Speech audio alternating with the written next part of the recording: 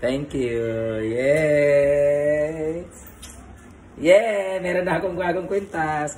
Okay, Happy 17th sa atin. At na rin natin yung happy 18th natin, Mansari ha.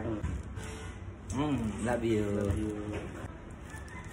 Hi guys! Wala akong bihis. Kasi mga damit ko kasi guys nandun sa maleta. Hello! Kasama ko. Wala, wala kang dumi. Uh, akin na yung katawan mo dapat, takpan mo. Hi guys! Magkasama, ang taba ko na. Magkasama kami ni ngayon ng asawa ko. Na naman tayo. Magkasama kami ni Lag kasi uwi na ako bukas sa sa probinsya at after 4 months magkasama kami ngayon tapos uuwi na naman ako tapos magkikita kami siguro sa bakasyon na naman sa mga May pa no, June. So ngayon, um, hindi kami nakapag-celebrate ng ce- celebrate. Nakapag-celebrate ng 17th monthsary namin. So, nagpabili kami ng cake, mag-celebrate kami. And galing ako ng Japan and Love. ito na nga, galing ako ng Japan, di ba? So, dati binigyan ko siya ng promise ring before ako pumasok ng PBB. Ayan. Before ako pumasok ng PBB, sa ko sa kanya, bibigyan, papahiram ko sa yung promise ring. Pag nag, hindi sa yan, ipapahiram ko lang. Tapos, pag naging big five ako, paglabas ko ng Pinoy Big Brother, automatic magiging tayo, tapos sa'yo na yung ring. Pero pag hindi ako pumasok sa PBB, yun yung sign na hindi magiging tayo. Magkaibigan lang tayo, tapos papahiramin ko to sa'yo. Ring natin, ibabalik mo na lang pag kukunin ko na. So, dahil naging big five ako sa Pinoy Big Brother, so, naging kami, di ba, paglabas ko. So, sa kanya na to. Ngayon naman, may surprise ako sa'yo, love. Meron naman ako sa yung promise necklace. Yeah! Ayan, dahil meron na kaming promise ring, meron naman akong promise necklace sa kanya. Gang na ako dyan. Ayan, itong necklace na to ay bigay sa akin ni Mama Mary. So hindi ko siya ka hindi ko siya pwedeng ibigay na lang basta-basta. Meron pa naman bigay si Mama Mary sa akin. At syempre, nandun na nakuha ko na siya sa sanglaan. Ang bigay sa akin ni partner yan. Hindi ko isasama tong pendant kasi akin to eh, mahal to eh. Mahal din naman to. Na siguro na sa mga 100,000 mahigit to. Pero hindi ko ito ibibigay kay Gia. Mama Mary, hindi ko ito ibibigay kay Gia. This is a promise necklace lang. Since hindi ko naman gagamitin pa kasi may isa akong necklace, ipapahiram ko na lang kay Gio. Promise ko to sa kanya. Tapos, anong promise ring? Ano ba yung tag ng? Collateral na lang. Ito ng collateral at simbolo ng aming pagiging magjowa.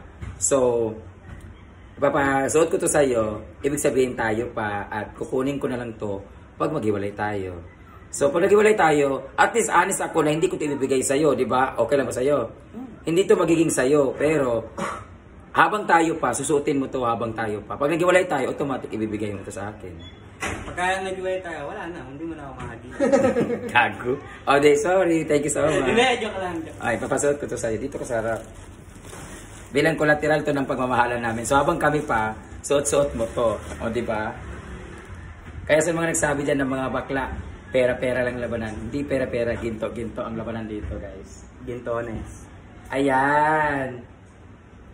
Yan, suotin mo yan siya kasi mas bagay sa'yo at meron naman ako mas mahaba dyan. Pairam ko muna sa kanya guys kasi habang kaya pa, ulitin ko, pag nagiwalay tayo, ibalik mo. At least may malinaw ang usapan na pag pag nagiwalay tayo, babalik mo yan na. Hindi yung, ay balik mo yung ano ko, ibalik mo yung ganito ko. Kasi ito, nagmamahal at nagmamahal eh. So kung, kung gaano niya ako kamahal, nagmamahal din. Eh, kasi pag cellphone ibibigay ko sa kanya or mga anything, shoes, ganyan, masisira. Paano ko na mababawi iyon? Itong kwintas kasi na to habang tumatagal nagmamahal. So habang tumatagal ba, minamahal mo ako. Ba, oo. Kasi nasa sayo na yan eh. Siyempre wala kang choice, mahalin na talaga ako. Hindi naman bagay, dalawa yung necklace mo. So yun lang Hindi, guys. Total, binigyan mo naman ako. Ha? Binigyan mo naman ako ng regalo. Siyempre, ako, gusto ko lang din regaluhan mo. Mas manipis nga lang. Mas manipis. Ayoko niyan, ang pangit naman yan. Mas manipis nga lang. Teka lang, anong brand ba? Anong brand? Anong ano ba to? Ah, Italian gold.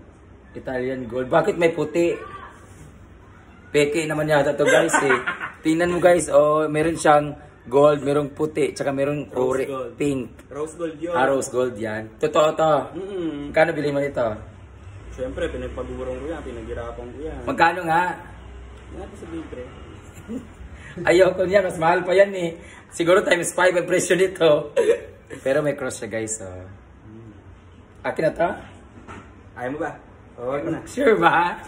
Eh, sunod mo na. Akin na yan. Yeah! O, di ba? Lugi ako. Hindi mo na babawiin pag naghiwalay tayo ha. Hmm. Hindi ba? Ano yun? Ako nga, babawiin eh. Oh, ganun pala yun. Parang lugi naman ako. Oo, Ma- parang masasakal naman. Ay, ang ganda. Ayun talaga ang chain talaga. Kasi maliit lang yan. Ah, tapos Ay, pag, pag sinuot ko yung mahaba ko na hanggang dito, tatlong layer siya. Pero parang choker nangyari sa akin, guys. Pang ano kasi yan? Talagang pang tip. Ay, ang ganda. Ang ganda niya, oh, kasi tapos pag sinuot ko yung isa na malaki, tatlong layer na siya. Mm. Sa'yo, ano bagay sa'yo yun, love? Thank you. Ayan, that's the sign of my love for you. And syempre, kagaya ng ginto, habang tumatagal, mas minamahal kita. Wow! Laki ng Paano mo gastos. lang? Parang malaking lugi ko dito ah. Magkano lang ito sa'yo? Wala pang 20,000 yata to.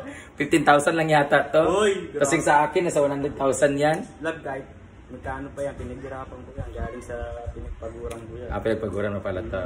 Thank you. Yay!